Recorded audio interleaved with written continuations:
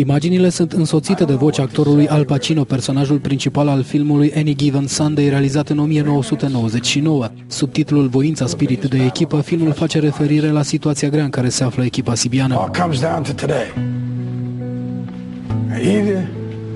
we heal as a team Aflată pe loc retrogradabil cu 5 etape înainte de finalul campionatului, Voința are nevoie de o minune pentru a rămâne în Liga 1. Materialul video are un puternic impact emoțional, iar în doar câteva ore a adunat sute de vizualizări. Din montaj reiese faptul că echipa sibiană mai speră încă în salvarea de la retrogradare, cu mențiunea că îndeplinirea acestui obiectiv depinde doar de voința jucătorilor și a stafului tehnic. Între timp, Claus Iohannis a anunțat că stadionul va avea nocturnă numai dacă echipa rămâne în prima ligă. Pot să vă spun că există posibilitatea să facem anumite investiții în funcție de rezultatul echipei Voința, la investiții cerute de ligă, nocturnă, refacerea gazonului, extinderea zonei cu scaune și așa mai departe.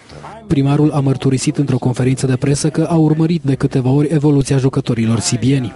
Eu nu am spus niciodată că nu-mi place fotbalul. I-am spus doar că nu sunt un fan. E mare diferența.